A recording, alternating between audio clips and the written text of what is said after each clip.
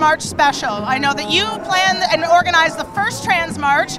We're on Yonge Street right now. Why is this important? Yeah, because this is actually like the first year that we actually made it to Yonge Street, which what we wanted. I mean, somebody must have said this. It's on the anniversary of Stonewall. I know! Could you plan it any better than this? How much of an inspiring sight is this? It's fantastic. It's the biggest one there's ever been. It's on Yonge Street. Everything's perfect.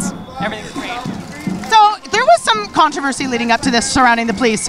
Bring us up to speed on what happened. So what happened was the uh, the police they have an LGBT contingent.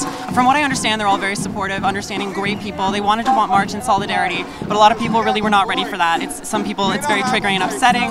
a lot of people had bad experiences with the police, um, and the LGBT contingent decided that it would be I don't want to put words in their mouths, but they said they, they would withdraw out of sensitivity, which I thought was a very good step towards solidarity in itself.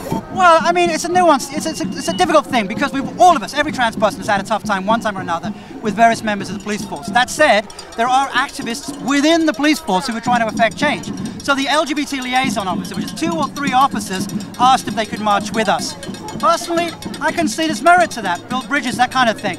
But it did raise a lot of uh, passion in some people, and you got to respect that. The whole point of the Trans March is to give voice to trans people, right? So I can't criticize their voices. I, I just, we just have to make sure that all voices are heard. I'm feeling the love tonight. You know, I haven't felt like this since the first Trans March in 2009, and uh, I, you know, the rain stopped, and I you know, I'm thinking of Kyle and the fallen and uh, how important it is to remember those who aren't here tonight. Kyle took his own life last year. Um, tell me a bit about uh, who Kyle was and why he why he took his own life. Um, well, Kyle to me was a friend and colleague of mine at the 519. We worked together for 10 years. His uh, loss uh, was huge to the 519 and certainly the uh, trans community as a whole. What do you think he would say today at seeing thousands of people and uh, trans people and allies marching and taking Yonge? I think he would be very heartened to see so many folks out today.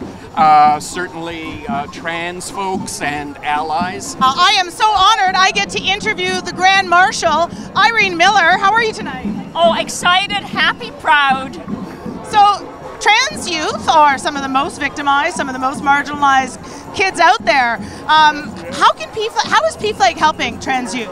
Well, every month we have at least one or two families with a young, high school age or university age person transitioning.